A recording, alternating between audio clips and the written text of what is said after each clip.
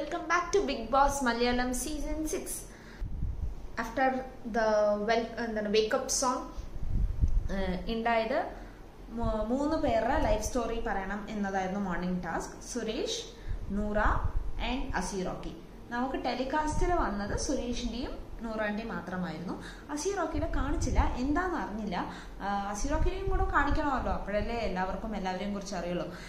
But then after that നമുക്ക് big boss ഒരു letter കൊടുത്തിട്ടുണ്ടായിരുന്നു which Sreerekha red.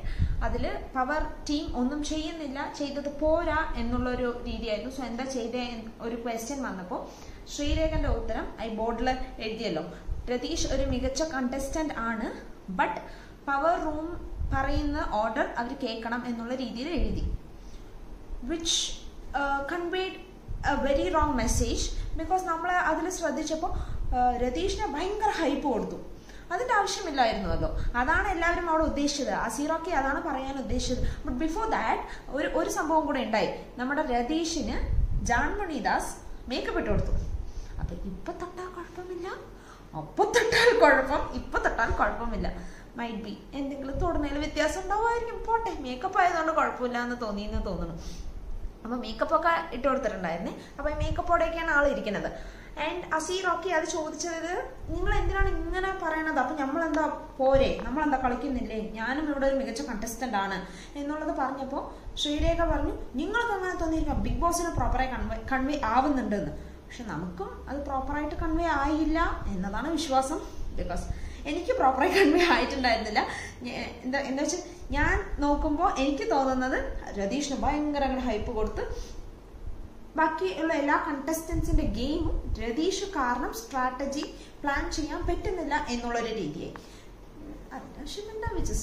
Like not necessary അത് അസീറാക്കി പറഞ്ഞപ്പോൾ ഇവ- ഇവർ പവർ റൂമിന് ബിഗ് ബോസ് പവർ കൊടുത്തിട്ടുണ്ടായിരുന്നല്ലോ. അതിപ്പോ എങ്ങനെയാ വെച്ചാൽ ഈ സ്കൂൾ കുട്ടികളൊക്കെ ഈ നമ്മൾ ഈ സെക്കൻഡ് സ്റ്റാൻഡേർഡ് തേർഡ് സ്റ്റാൻഡേർഡിൽ ബോർഡിൽ പേര് എഴുതില്ലേ? ലൈക്ക് നീ മിണ്ടിയ നിന്റെ പേര് എഴുതട്ടെ നിന്റെ പേര് എഴുതട്ടെ. അതുപോലെ ആയിരുന്നു. ശ്രീലേഖ വന്നിട്ട് നിന്റെ പേര് എഴുതട്ടെ. ആ, എന്നാ പിന്നെ ഞാൻ ഞാൻ റോക്കിയുടെ പേര് എഴുതണോ? ഞാൻ റോക്കിയുടെ പേര് എഴുതണോ? അപ്പൊ ഗബ്- നമ്മുടെ ഗബ്രി. ഗബ്രി ഗബ്രിമാൻ എണീറ്റ് വന്നു. ബെല്ല അടിച്ചിട്ട് ഇരിക്കൂ. പവർ റൂമത്തെ പവർ അധികാരം വെച്ച് പറയണേ ഇരിക്കൂ. എന്നൊക്കെയായിരുന്നു ഷോ ഭയങ്കര ശരിക്കും സ്കൂളിൽ പോയി. ആൻഡ് അതിന്റെ ഒരു ഭാഗമായിട്ട് നമ്മുടെ രതീഷറിനെ ഔട്ട് ഓഫ് ദ ഹൗസ് അപ്പോൾ അതിനും ഭയങ്കര ഡ്രാ ഡ്രാമയായിരുന്നു. Because out of the house അയക്കാനുള്ള കാരണം എന്താണ്? ജാൻമണി അങ്ങനെ ഇടപെട്ട് ജാൻമണി ഒന്ന് എന്ന് വിളിച്ചു. അവൾ എന്നെ വിളിച്ചു. പക്ഷെ ഞാൻ ആ വിളിക്കില്ല എന്നൊക്കെ. എന്നിട്ടാണ് വീട്ടിൽ നിന്ന് പുറത്താക്കിയത്.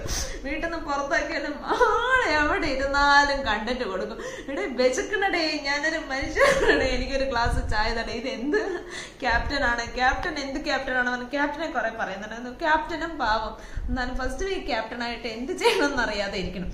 അപ്പോഴാണ് അസീറോക്കി വന്നത്. പക്ഷെ ശ്രീരേഖയാണ് കൊണ്ടുവന്ന് ചായ കൊടുത്തേട്ടോ ചായ കൊടുത്തതും ശ്രീരേഖയ്ക്കും അസീറോക്കിക്കും അങ്ങനെ ക്ലാഷായി ബിക്കോസ് ഈ കാര്യം പറഞ്ഞിട്ട്. ക്ലാഷ് ആയതും നമ്മളുടെ സമാധാനമായ രതീഷേട്ടൻ. ഒരു പ്രശ്നവും ഉണ്ടാക്കാത്ത രതീശൻ. എന്താണ് നിങ്ങൾ ഈ കാണിക്കുന്നത്? ഇതൊരു വീടല്ലേ? ഇതൊരു കുടുംബമല്ലേ? എന്ന് അതൊക്കെ ഡയലോഗ് നല്ല നല്ല ഡയലോഗായ പുള്ളിക്ക് അറിയുന്നുണ്ട് എവിടെ കയറ്റണം എവിടെ ഇറക്കണം എന്നുള്ളതൊക്കെ നന്നായിട്ട് അറിയുന്നുണ്ട്. അതൊക്കെ ഒരു ഒരു അത് ആക്ച്വലി നൈസ് എന്താ വെച്ചാൽ ഒരു ഗെയിമിനുള്ളിൽ വരുമ്പോൾ ഒരു ഇൻട്രസ്റ്റിംഗ് ഫാക്ടർ എവിടെയൊക്കെ കൊണ്ടുവരുന്നുണ്ടെന്നും കൂടെ തോന്നുന്നു. പിന്നെയാണ് നൂറ. നമ്മുടെ നൂറ പുറത്ത് വന്നതും ഗബ്രിമൻ. അപ്പൊ പവർ റൂം അധികാരം വെച്ച് പറയുന്നു നൂറ പോണം. അഞ്ചെണ്ണം. One two three four five Noora പോയില്ല. നൂറയും വീട്ടിൽ നിന്ന് പുറത്ത്. അയ്യോ ഇത് ഇത് ഭയങ്കര ചൈൽഡ് ഷേപ്പ് ആയ പോലെ. ഒരു പവർ കൊടുത്താൽ ഇങ്ങനെയാണോ പവർ റൂം പവർ എന്ന് പറഞ്ഞിട്ട് ഇത് പോട്ടെ. ഇത് ബിഗ് ബോസ് ഫോർ അഡൽസ് എന്നുള്ളത് വെച്ച് big boss for kids big boss ആയിപ്പോയ പോലെ ഉണ്ടായിരുന്നു. നമ്മുടെ അസീറോക്കി കരഞ്ഞുപോയി. കാലൊക്കെ ഇട്ട് അടിച്ച് കരഞ്ഞുപോയി. ഫ്രസ്ട്രേഷൻ കൂടിപ്പോയി ആരായാലും കുറച്ച് കരഞ്ഞു പോകാനല്ലേ? ഞാൻ ഞാനിങ്ങനെ ഭയങ്കര ഞാൻ റോക്കിയാണെന്നൊക്കെ പറഞ്ഞ് നടന്നിട്ടും കാര്യമില്ല. അത് മനുഷ്യനല്ലേ?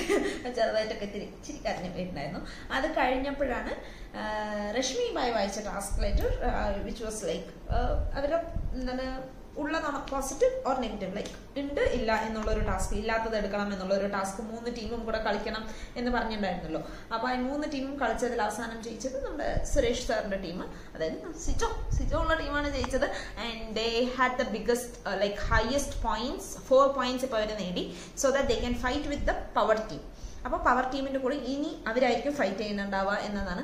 പക്ഷെ ഇതിന്റെയൊക്കെ നടുവിൽ പാവം തോന്നിയ ഒരു മനുഷ്യനുണ്ടായിരുന്നു ജിണ്ടു ചേട്ടൻ. എന്ത് ഉറക്കമായിരുന്നു ഒരു വൻ ഉറക്കം. പുള്ളിക്ക് കൺട്രോളേ കിട്ടുന്നുണ്ടായിരുന്നില്ല. ഇവിടെ ശ്രീരേഖയും അസീറോക്കയും വന്നടി. തൊട്ടടുത്തിരിക്കുന്നത് രതീഷകം വൻ സൗണ്ട് എന്നാലും അതിലും സത്യം സത്യം പറഞ്ഞ പുള്ളി ഒരു പാവമാണ് ആരുടെ കാര്യത്തിൽ ഇടപെടുന്നില്ല. ഏത് പ്രശ്നത്തിനും പോകുന്നില്ല. പുള്ളിക്ക് വരുന്നത് മാത്രമേ സംസാരിക്കുന്നുള്ളൂ. ഒന്ന് നോക്കിയാൽ നല്ല ക്വാളിറ്റിയാണ് പക്ഷെ ഇതിനകത്ത് ഗെയിം എന്ന് വരുമ്പോൾ ഇരുന്ന് ഉറങ്ങിയിട്ട് കാര്യമില്ല. ഇരുന്ന് ഉറങ്ങണ തന്നെ ഫോക്കസ് ചെയ്ത് പാവം. ഭയങ്കര വൻ ഉറക്കമായിരുന്നു അത് അതൊക്കെ കഴിഞ്ഞ് പുറത്ത് വന്നപ്പോഴാണ് നമ്മുടെ മറ്റേ പോസിറ്റീവ് നെഗറ്റീവ് ടാസ്ക് കഴിഞ്ഞ് പുറത്ത് വന്നപ്പോഴാണ് അപ്സരയ്ക്കും അസീറോക്കിക്കും അവരുടെ ടീമിനുള്ളിൽ ഒരു ഡിസ്കഷൻ നടന്നു. അത് അവർ തീർത്തിട്ടുണ്ടാകും. അപ്പൊ കയറി രതീഷ്. അവിടെ പിന്നെ കണ്ടന്റ് ഉണ്ടാക്കണമല്ലോ കണ്ടന്റ് ഉണ്ടാക്കാൻ കയറി താഴെയൊക്കെ വീണ് നമസ്കാരമൊക്കെ ചെയ്ത് പാവം ഉള്ള കുട്ടിനെയും കരയിപ്പിച്ച്. എത്ര എത്രയാണ് മനുഷ്യന്മാർ ഒരു ഫ്രസ്ട്രേഷൻ ഇങ്ങനെ കൺട്രോൾ ചെയ്യും മൈൻഡില്ലാതെയൊക്കെ ഇരുന്നിട്ടും കാര്യമില്ലല്ലോ. കരഞ്ഞിട്ട് അങ്ങനെ പോയി. But at the end of the show നമ്മുടെ ഈ വൺ അവർ ഷോ കഴിയുമ്പോൾ തലേ ദിവസം ഇന്നലെയും ഐ മീൻ മിഞ്ഞാന്നും അതായിരുന്നു ഇന്നലെയും അതായിരുന്നു. ശരി മിഞ്ഞാന്ന് ഒന്നും കൂടെ നോക്കട്ടെ എന്ന് പറഞ്ഞിട്ടാണ് നമ്മൾ ടോപ്പിക് എടുത്തിടാൻ തരുന്നത്. ഗബ്രി മോനും ജാസ്മിൻ മോളും എന്താണ് കുട്ടികളെ? അവിടെ എന്തോ നടക്കുന്നുണ്ടല്ലോ. എന്ത് സ്ട്രാറ്റജിയാണെന്ന് അറിഞ്ഞില്ല. ഗബ്രയുടെ പേര് പോലും ജാസ്മിൻ ഫുൾ അറിഞ്ഞില്ലാന്നോ? അതുകൊണ്ട് ഗബ്രയ്ക്ക് ദേഷ്യം വന്നെന്നോ? അവ ജാസ്മിൻ ഇച്ചിരി പിണങ്ങി വന്നു. ആ ചിലപ്പോൾ ആയിക്കോട്ടെ. അവരിപ്പം മുമ്പേ പുറത്തറിയാം.